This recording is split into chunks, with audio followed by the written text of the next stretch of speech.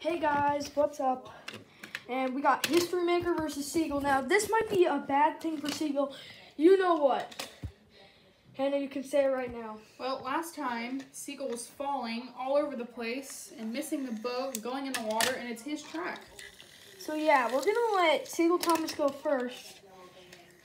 Okay, okay here we go. Three, two, one, go.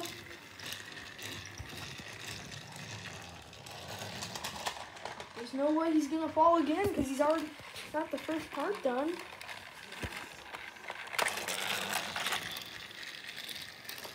Let's see if he can handle this.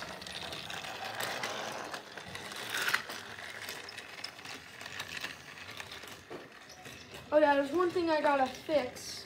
Okay, before this one starts, I gotta fix something. This one apparently wasn't there. Something. I don't know why it wasn't there. You like that? Mm-hmm. Okay, Lava Thomas is a lot faster. What was the time? It was 25. 25. Okay, three, two, one, go. Hopefully you don't make a mistake. If this history maker makes one mistake, he he loses the first line. But he barely survived the last one against Hyper Glow Station. Oh, barely survived there. Going right up into here. Now, if he would want to beat Lion James, then he would have to do something unbelievable. He would need Lion James to make an unbelievable mistake. Also, guys, he's just won. So we're gonna let him go first this time. Okay, three, two, one, go.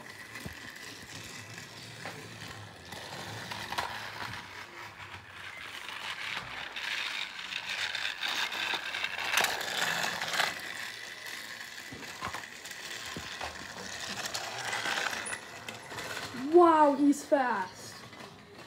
Almost as fast as Lion James, but not that as fast. 22 that time. It was a slower time. But you, well, I don't think the um, Lava Thomas would ever be able to defeat Lion James. He's way too fast. Okay, three, two, one, go. The only way he could beat Lion James was if he made a massive mistake on the, like the final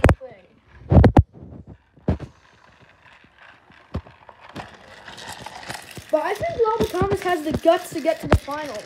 Yeah. No ways. He actually gonna win? He's got to be 22. Ah, it's close. Nope.